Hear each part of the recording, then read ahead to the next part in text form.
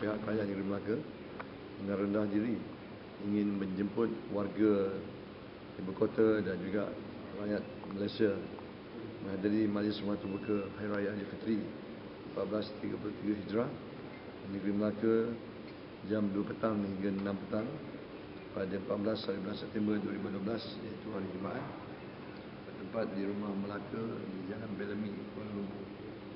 Kehadiran tuan-tuan dan puan-puan sekeluarga akan memeriahkan lagi majlis ini. Melaka maju negeri ku sayang. Negeri bandar teknologi hijau. Melaka 750 tahun. Selamat Hari Raya Aidilfitri. Maaf zahir dan batin. Merdeka. Merdeka. Merdeka. Janji ditepati. Assalamualaikum warahmatullahi wabarakatuh.